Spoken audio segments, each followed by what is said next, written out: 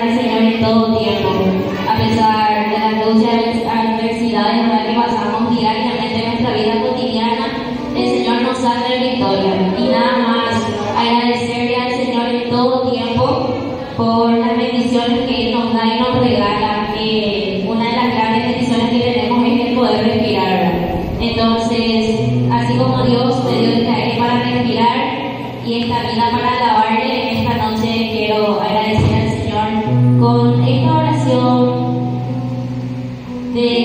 in.